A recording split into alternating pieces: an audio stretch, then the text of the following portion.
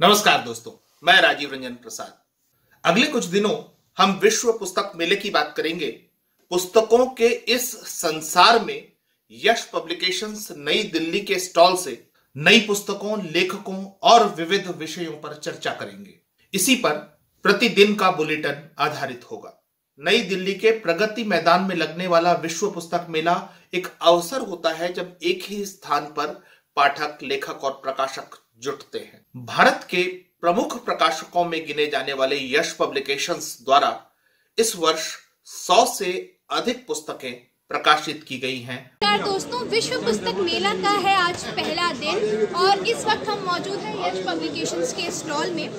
यश publications इस बार 100 से भी ज़्यादा नई पुस्तकें लेके आ रहा है, जिसमें खास पुस्तकें कुछ इस तरह हैं। प्रेम नाम है मेरा, प्रेम चोपड़ा। जी हाँ प्रेम चोपड़ा की बायोपिक हिंदी में यश पब्लिकेशन लेके आ रहा है। इसी के साथ साथ मशहूर लेखक फजले गुफरान जी की बॉलीवुड बायोपिक्स और राजीव रंजन जी की साक्षी है समय जैसी अन्य बहुत ही बेहतरीन और रोचक पुस्तकें इस बार यश पब्लिकेशन के स्टॉल पर आ रही हैं। तो मैं आप सभी से गुजारिश करूँगी कि अगर आप पुस्तक प्रेमी हैं और अगर आप नहीं भी हैं तो आपको होना चाहिए तो इसलिए आप ज़रूर आइए विश्व पुस्तक मेले में और यश पब्लिकेशन के स्टॉल पर ज़रूर आइए, क्योंकि बहुत सारी बेहतरीन किताबें हैं जो आपको पसंद आएँगी।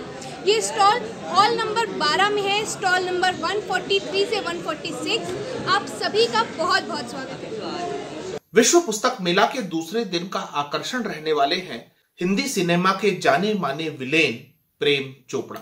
प्रेम चोपड़ा पर लिखी उनकी पुत्री रकिता नंदा की पुस्तक, प्रेम नाम है मेरा प्रेम चोपड़ा, जो उनकी ही अंग्रेज़ी पुस्तक का हिंदी अनुवाद है, सामने आ रही है। इस कृति का अनुवाद जानी मानी लेखिका और पत्रकार श्रुति अग्रवाल ने किया है। प्रेम चोपड़ा अपनी पुस्तक और आयोजन के विषय में कहते हैं, कल पाँच तारीख को मैं और मेरी बेटी जिसने किताब लिखी है हम प्रगति मैदान में आ रहे हैं अपने हिंदी बुक के सिलसिले में। मुझे उम्मीद है कि आप सब लोग वहाँ होंगे और आपकी ब्लेसिंग हमें चाहिए। शुक्रिया बहुत बहुत। थैंक यू यह अवसर पुस्तकों से बातचीत करने का भी है।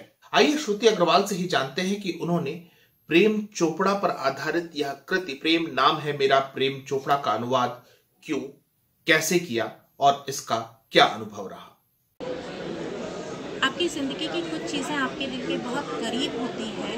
उन्हीं करीब चीज़ों में से एक है, प्रेम नाम है मेरा, प्रेम चोपड़ा किताब, जिसका अनुवाद मैंने किया है। यश पब्लिकेशन ने जब इस अनुवाद को अपने हाथों में लिया, तब मुझे लगा कि एक बहुत खूबसूरत चीज़ हम हिंदी में लाना, लाने की कोशिश कर रहे हैं। जिसमें आप एक खलनायक जो कि बहुत अजीम व शेन हैं, जिनका बहुत अच्छे कई किरदार हम लोगों ने लगातार 50 सालों तक देखे हैं, उनकी निजी और वास्तविक ज़िंदगी कैसी है?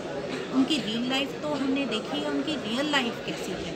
और इस किताब में सबसे खास बात यह है कि उसमें उनकी ना सिर्फ़ रियल लाइफ है रियल लाइफ है, बल्कि बहुत सारे ऐसे किस्से हैं जो कि बॉलीवुड से जुड़े हुए हैं और हम सभी के लिए अनजाने हैं।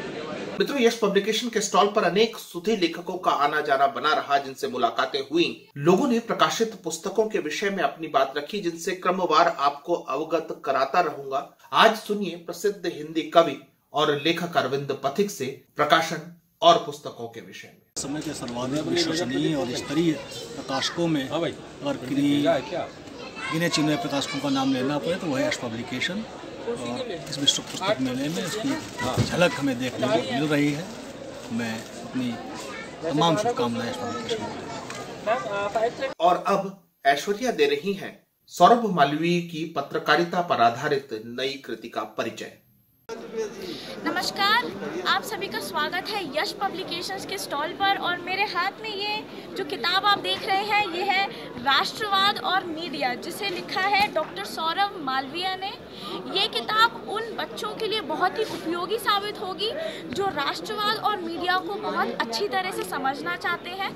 तो आए देर ना करें और इस किताब को ज़रूर खरीदें। मित्रों, आज इतना ही। कल फिर मिलते हैं नई पुस्तकों और आयोजनों की जानकारी के साथ नमस्कार।